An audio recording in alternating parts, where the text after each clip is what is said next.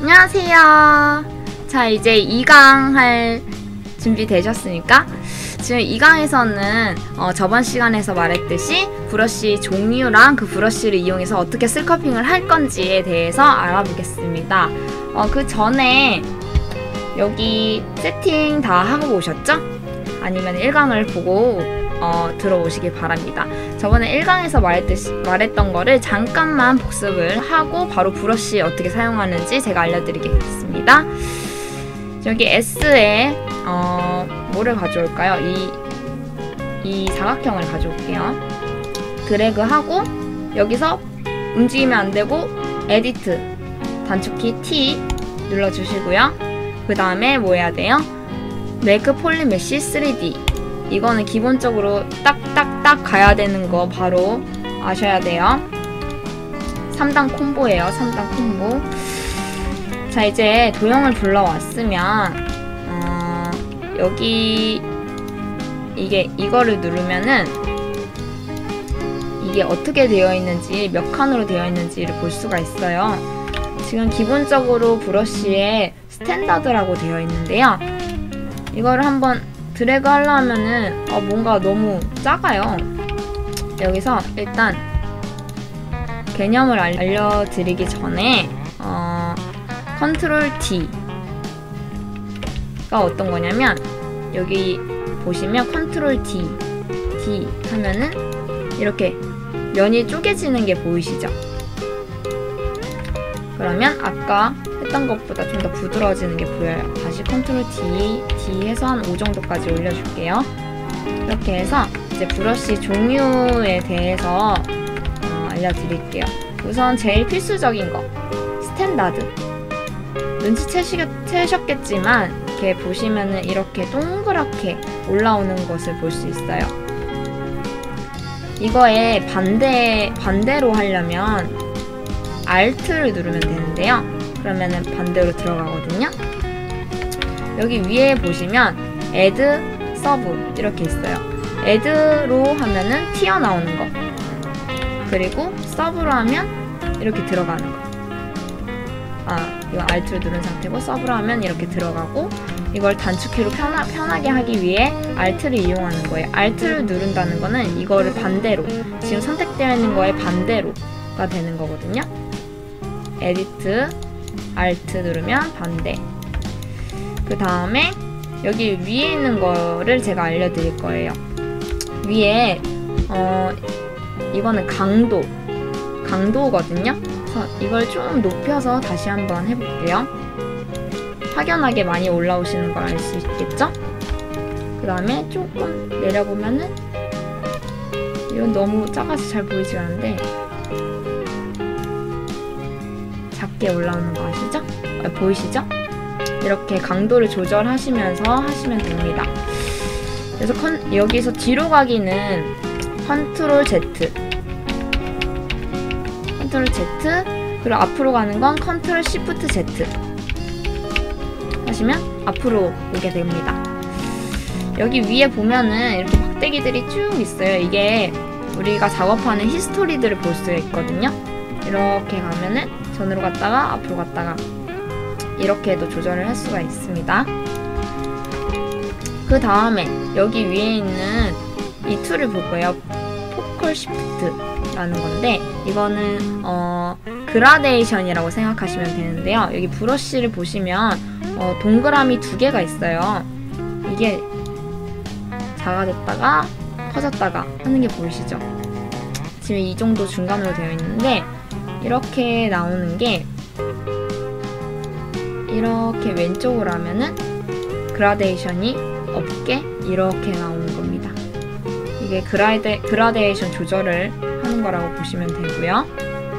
이거는 말 그대로 Draw Size.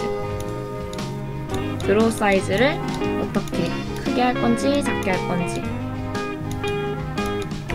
여기까지 일단 알고 계시면 될 것 같습니다. 근데 이 모든 툴을 위에 왔다 갔다 하시는 것보다는 스페이스바를 눌러, 눌러주시면 Draw Size, 그라데이션, 강도 조절, 그리고 에, Edit, SubTool 이렇게 다 뜨거든요. 이걸로 이게 마우스대로 이렇게 따라오거든요.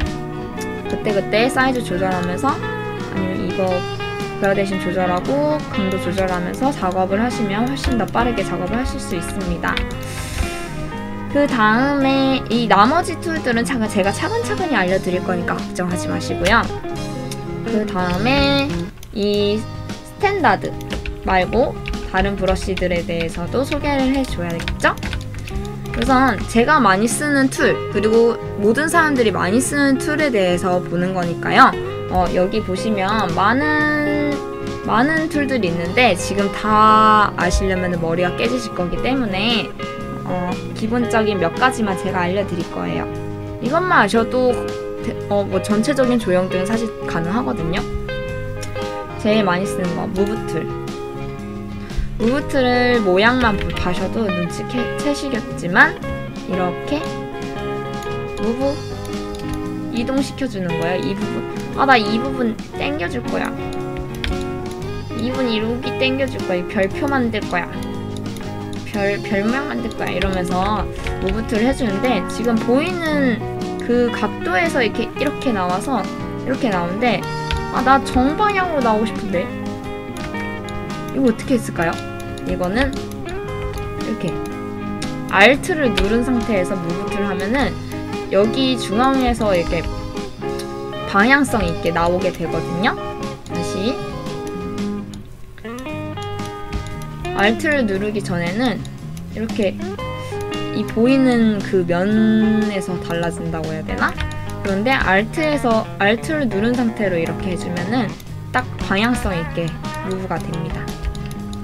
이건 팁으로 알고 계시면 되고요. 그 다음으로 많이 쓰는 거 Dam Standard라고 있어요. 여기 있거든요.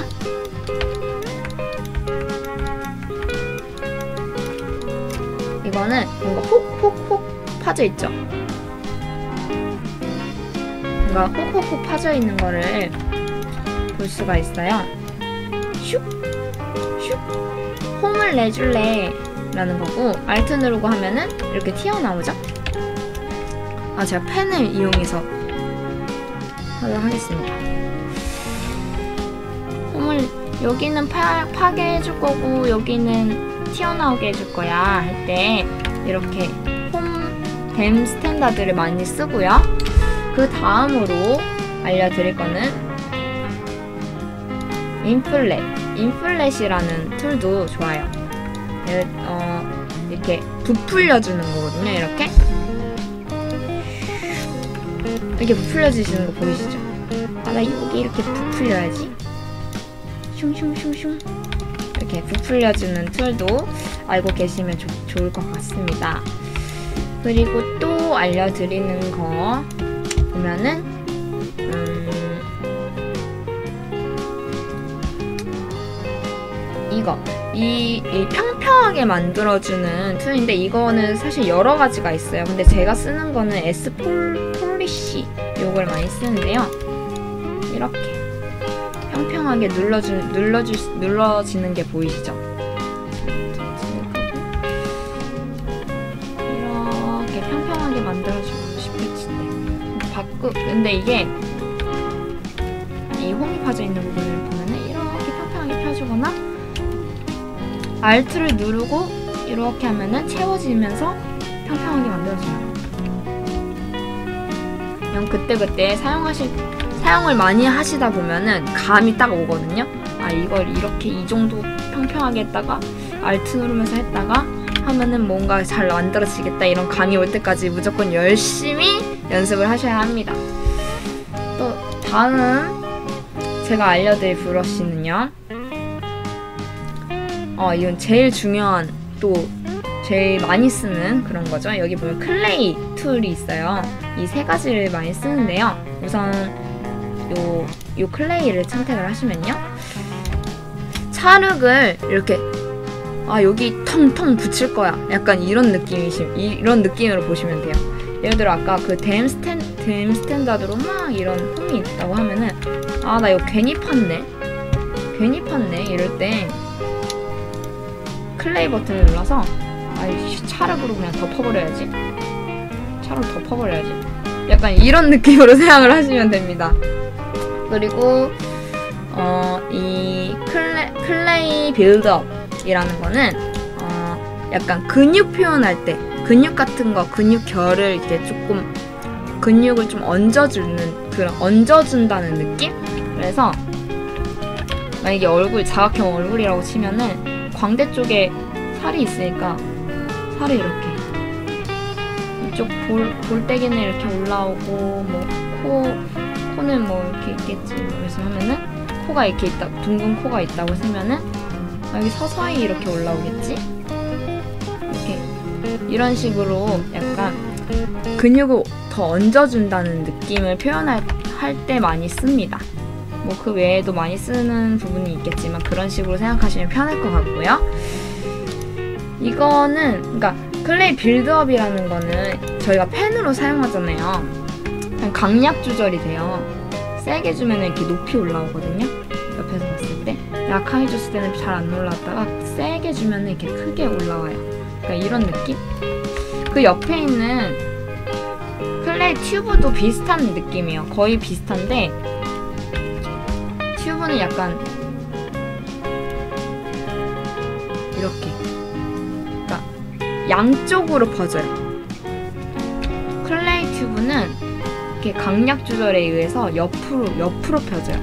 높이 올라온다기보다는 옆으로 이렇게 커지는 거거든요. 그런 개념으로 생각을 하시면 됩니다. 이것도 또, 똑같이 알트 누르면 반대가 돼요. 그리고 그 다음으로 알려드릴 거 스네이크 훅. 스네이크 훅은 무브트랑 조금 비슷합니다. 무브트를 먼저 음, move tool을 먼저 이렇게 당겼다면 snake hook은 약간 뿔 만들 때 있죠. 몬스터 같은 거 만들면 뿔 같은 거 많잖아요. 슝? 무슨 차이인지 알겠죠? snake hook은 약간 뿔, 막 엄청 큰 그거를 쫙 당길 때, 쫙 당길 때 약간 snake hook 이런 거 되게 많이 쓰거든요. 이런 거를 이용해서 여러분들이 어, 스컬핑을 하면 돼요. 아, 그래서 제일 중요한 거를 빠뜨렸어요. 시프트. 시프트 누르면 이렇게 뭉개집니다. 이렇게 뭉개져요. 일단 기본적인 브러쉬 종류들에 대해서는 제가 설명을 드렸는데요. 이것만 알, 안, 알고 작업을 하기엔 힘들어요. 그거는 어, DynaMesh라는 개념을 우선 알아야 되거든요. 여기 보시면 DynaMesh라는 tool이 있습니다. 여기 geometry에 DynaMesh라는 tool이 있는데 여기 이거를 보면은 여기를 볼 수 있다고 얘기를 했죠. blur를 0으로 만들어준 다음에 이게 어, mesh 어, 여기 해상도라고 적혀있는데 그 mesh를 얼만큼 생성을 할 건지 그런 거를 조절해 준다고 생각을 하시면 되는데 약하게 해서 이 위에 거를 활성화 DynaMesh를 활성화해 줍니다. yes 눌러주면 되게 되게 거친 거친 그러니까 면 수들이 조금밖에 없는 걸로 바뀌었어요. 그러면은 여기서 지금 이렇게 되어 있으니까 아 우선 다시 최소 최 초기화를 해놓고 설명을 다시 드릴게요.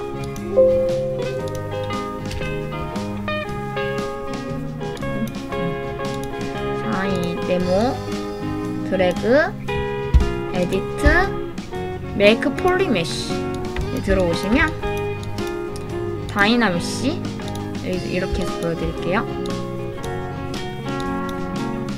다이나미시 활성화 시켜주시고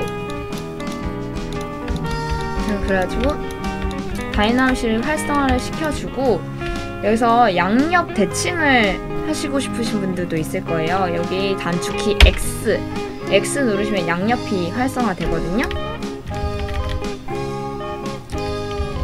어, X를 활성화 시켜준 후에 다이나미시 만들어 주시고 한번 배웠던 그걸로 스커핑을 간단하게 해볼게요. 이눈있 네, 콧구멍, 알트 눌러서 콧구멍 해주고 이게 브러쉬를 이렇게 조절해주면서 콧구멍 여기 이렇게 만들어줘야지. 그리고 입 입도 하나 만들어줄게 이렇게. 입도 만들어줬고 아까 스네이크 훅 이걸로 뿔을 만들어줄게. 뿔 이렇게 만들고 귀는 있고 뭐 없는 게 뭐가 있죠? 눈썹.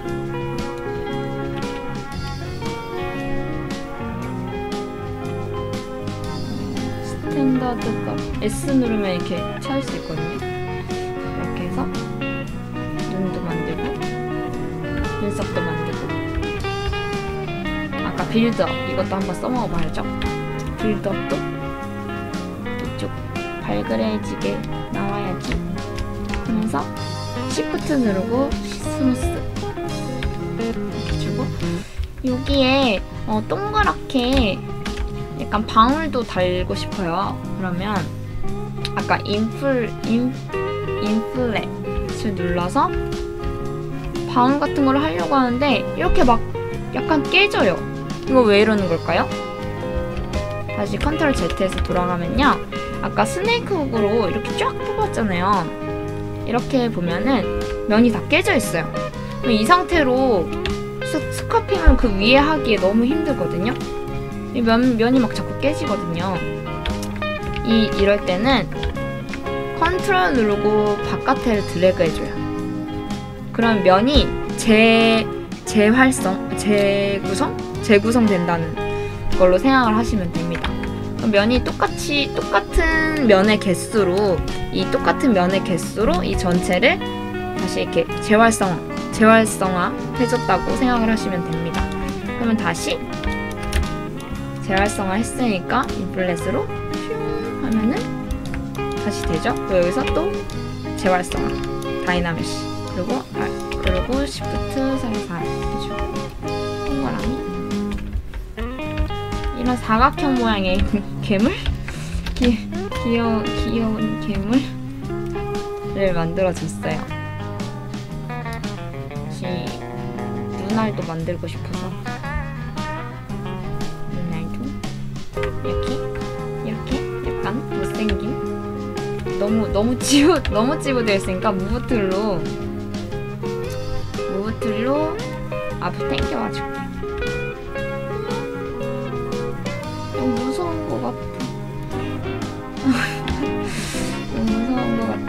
간단히 보여드려야 되니까 이런 사각형이 어, 귀여운 것 같기도 하고. 하여튼 사각형 괴물 사각형 삐에로 괴물을 만들어 드렸습니다. 근데 여기서 어느 정도 나왔다 싶으면 이게 조금 조금씩 늘려주는 거예요 이렇게. 조금 조금씩 늘려서 다시 DynaMesh 재활성화 하면은 아까보다 아까보다 짜잘짜잘하게 나눠졌거든요. 그러면 여기서 시프트 누르고 smooth를 주더, 주면은 딱 보아도 면이 조금 더 고와진 게 보이시죠? 근데 이거는 너무 처음부터 이거를 높게 하고 작업을 하시는 거는 삐 안 돼요. 왜냐면은 나중에 작업 컨트롤하기 너무 힘들어요. 그 작업 컨셉에 맞게 전체적인 내가 생각했던 아니면 그림을 보고 따라 만드는 그런 어떠한 캐릭터를 만든다고 가정을 했을 때 그 전체적인 구성이 딱 나온 나오기 전까지는 높이시지 말아야 돼요. 안 그러면은 그거 다 하나 처음부터 틀어지면은 끝까지 틀어지거든요. 그러니까 욕심을 버리시고 이 밑에 단계에서 최대한 아 진짜 더 이상 없, 더 이상 완, 더 넘어가도 될 것 같은데 이래, 이래도 좀 더 한 번 한 번 더 보고 그 다음에 조금 조금씩 늘려가면서 보시는 거를 추천드릴게요. 이렇게 스무스로 정, 정리도 이렇게 해주면서 나는 얘를 실제 눈썹으로 해야지. 그러면은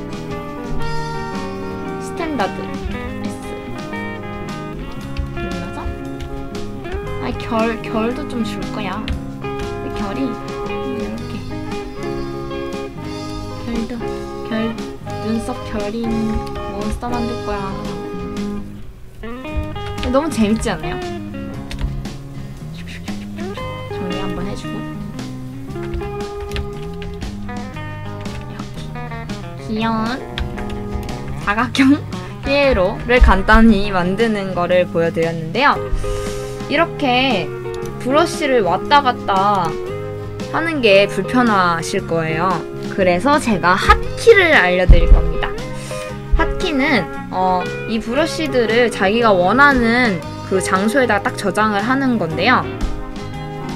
어, 이거 외에도 여러 가지 막 많은 툴들이 있잖아요, 여기에. 이걸 다 UI들을 어, 저장하고 뭐 쉽게 나만의 나만의 팔레트를 만들고 이런 것도 있는데 이건 이거는 조금 중급 중급 정도 됐을 때 어느 정도 컨트롤이 지브러쉬를 많이 좀 사용을 그나마 했을 때 그때 제가 영상을 한번 따로 올리도록 할게요. 우선은 하키 정도는 등록을 하고 연습을 하시는 걸 추천드릴게요. 그러니까 hotkey 등록은 어떻게 하냐면요. 네, 브러쉬에 들어가요. 네, 아까 move tool 있죠? move tool. 이거를 hotkey를 저장을 할 건데 컨트롤, 컨트롤이랑 Alt 동시에 딱 누른 다음에 move를 딱 눌러요. 위에 영어가 하나 뜨는데 나는 1번에 저장해 볼게요. 1번. 어, 다시 한번 해볼게요. 알, 컨트롤 Alt 누르고 move 누르고 1 하면 뭐가 뜨는데 그냥 확인 누르면 됩니다. 확인 누르면 1번 누르면 바뀌어요 이렇게 그 다음에 어, standard S 누르면 standard 2번. 그리고 Dam Standard 3번. 하기. 그리고 뭐? 인플렛 4번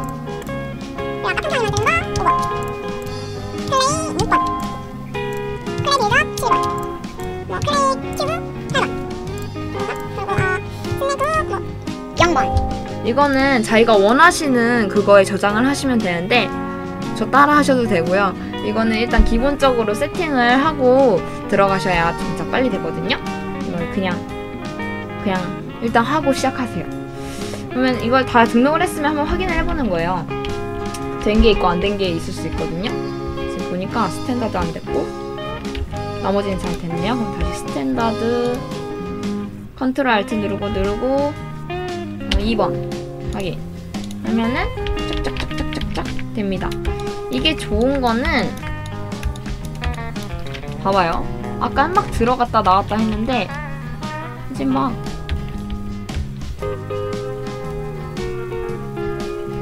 바로바로 할 수 있어요. 이거 업데이트 한번 해주고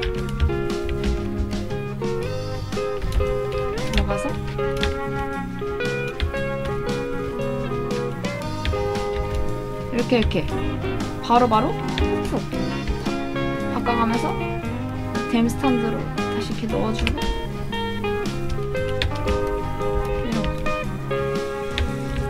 근데 봐봐요 지금. 이 정도 DynaMesh 엄청 낮은 단계인데도 시프트가 이 정도밖에 안 됐거든요. 이러면은 잘 하기가 힘들어요. 그래서 아까 제가 말씀드렸던 것처럼 되게 낮은 단계에서 최대한 많이 다 해놓고 조금씩 올라가면서 하면 돼요. 어, 만들어보니까 조금 귀여운 것 같은데.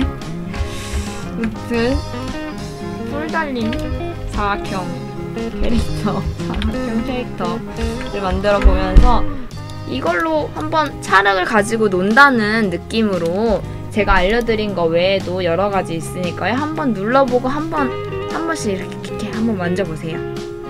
그러면 어, 되게 재미있는 시간을 가질 거라고 생각이 들어요. 그러면 여기까지 이 강은 끝!